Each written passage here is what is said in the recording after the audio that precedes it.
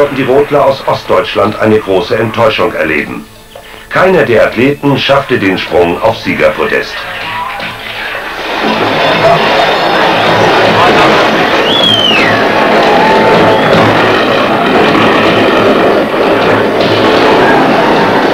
Auf der Strecke ist Valery Dudin aus der damaligen Sowjetunion. Vor diesem entscheidenden vierten Lauf belegt er Rang 2.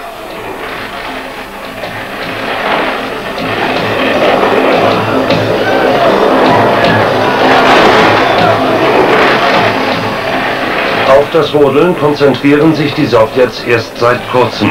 Dudins Technik ist fehlerlos.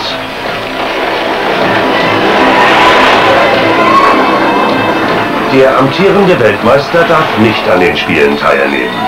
Miroslav Sajons war aus der ehemaligen Tschechoslowakei nach Kanada geflüchtet. Bei der Weltmeisterschaft ging er bereits für Kanada an den Start. Doch die strengen Olympiabestimmungen verhindern einen Start in Sarajevo.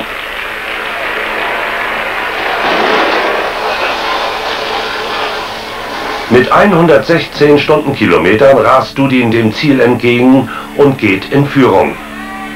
Zwei Konkurrenten stehen nun noch.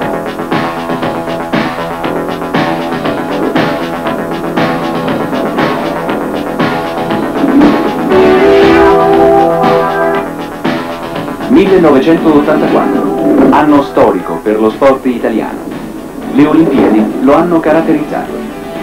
A Sarajevo, per i quattordicesimi giochi invernali, nessun paese manca all'appello. Lo sport è presente nella sua unità. Non altrettanto accadrà alle Olimpiadi estive.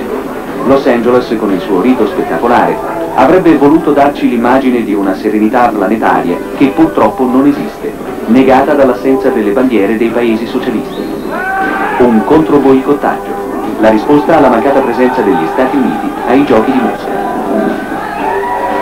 Per l'Italia il 1984 si annuncia subito come un anno felice. Grajevo, Pauli Gartner, 32 anni, carabiniere, alto atesino, alla sua quarta Olimpiade, conquista la medaglia d'oro nello slittino.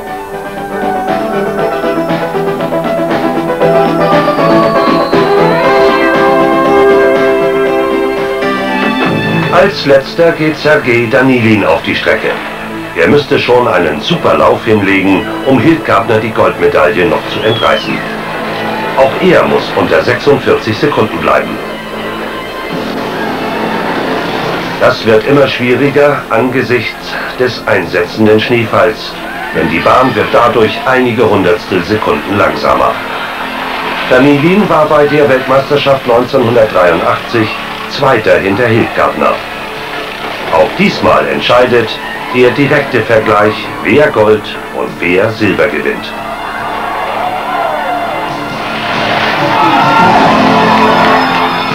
Im ersten Durchgang verliert Zeit. Ausgezeichnete Läufe danach bringen ihn auf den zweiten Platz. Aber Hildgartner noch abzufangen, ist fast unmöglich. In der vierten Kurve unterläuft ihm ein leichter Fahrfehler und damit ist die Entscheidung.